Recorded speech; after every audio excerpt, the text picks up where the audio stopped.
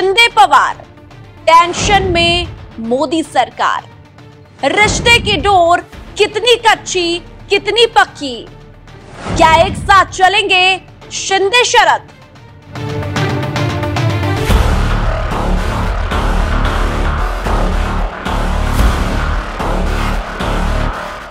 नमस्कार NMF news देख रहे हैं आप और मैं हूँ आपके साथ वाकिशा पांडे। महाराष्ट्र में इस साल विधानसभा चुनाव होने हैं। लेकिन चुनाव से पहले कुछ पुराने रिश्ते फिर से जुड़ते हुए दिखाई दे रहे हैं।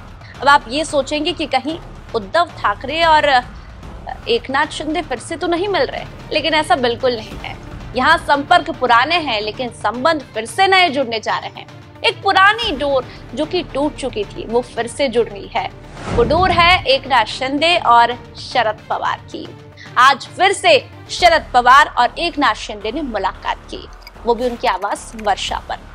शरद पवार जी एक नाथ शिंदे से मिलने उनकी आवास वर्षा पर पहुँचे और पहले एक शिंदे ने शरद पवार का स्वागत किया और फिर दोनों के बीच खूब लंबी चर्चा चलिए, पहले तस्वीरें देखिए आप शिंदे और शरद पवार की।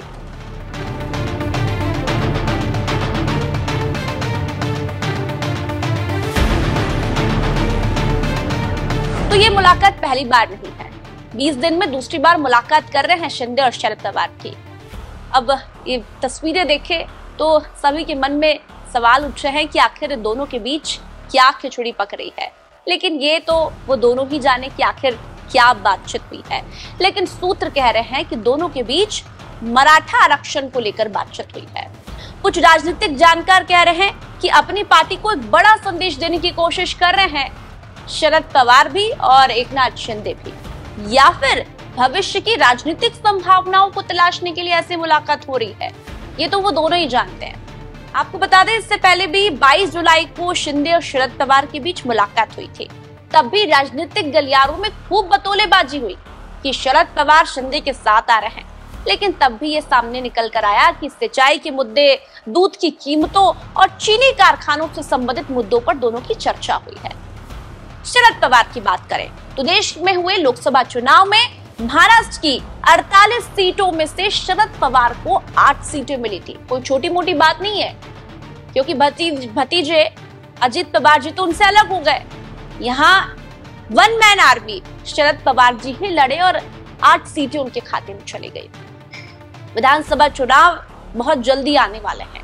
उससे पहले ये मुलाकातें राजनीतिक गलियारों में बहुत सारी बातें ला रही है कि कहीं ऐसा तो नहीं कि शिंदे और शरद पवार एक हो रहे हैं। आपको बता दें, कुछ समय पहले भी ये चर्चा हुई थी कि अजीत पवार गुट के पंद्रह विधायक शरद पवार के साथ जा सकते हैं। और अगर ऐसा होता है, असल में भी, कि अजीत पवार गुट के विधायक शरद पवार के साथ जाते हैं तो यहाँ पर शिंदे की मुश्किलें बढ़ सकती है। क्योंकि ये वही अजीत पवार है जो कि शरद पवार से अलग होकर शिंदे जी से हाथ मिलाने गए थे। तो शिंदे जी की टेंशन तो बढ़नी है। ऐसे में लगातार मुलाकातें जो हो रही है, कहीं न कहीं ये मोदी सरकार की भी टेंशन बढ़ा रही है। क्योंकि यहाँ तो शिंदे जी ने हाथ तो मिला लिया बीजेपी से।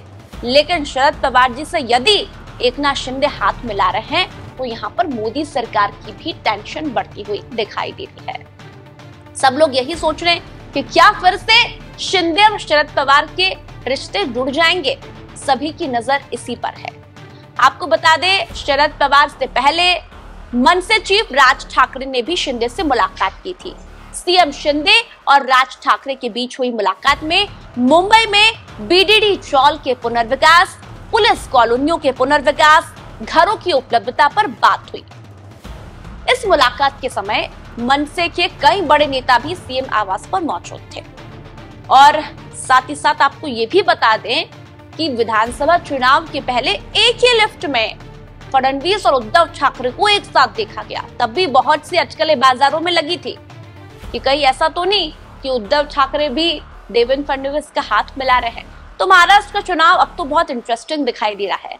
इधर शरद पवार और शिंदे मिल रहे हैं। इधर शिंदे की मुलाकात राज ठाकरे से भी हो रही है। तो एक तरफ़ एक ही लिफ्ट में फडणवीस और उद्धव ठाकरे दिखाई दे रहे हैं। तो क्या महाराष्ट्र चुनाव आप लोगों के लिए भी इंटरेस्टिंग है? क्या आप लोगों को भी जानना है कि महाराष्ट्र चुनाव में इस बार क्या होता है? किसके हाथ आती है सत्ता की चाबी? क्योंकि शरद पवार भी यहाँ पर एक बड़े हीरो के तौर पर अपनी भूमिका निभाएँगे। और इस भूमिका में कौन किसके साथ जाएगा? किसके रिश्ते जुड़ेंगे? किसके टूटेंगे? ये तो समय आने पर ही पता लगेगा। अगर आपको ये वीडियो पसंद आया है तो वीडियो को शेयर ज़रूर कीजिए, क्योंकि इस समय महाराष्ट्र के बारे में जानने के लिए हर कोई उत्सुक है। और साथ ही साथ कमेंट कर कर ज़रूर बताइए कि क्या शरद पवार को शिंदे से हाथ मिलाना चाहिए, और साथ ही साथ लाइक भी कीजिए। धन्यवाद।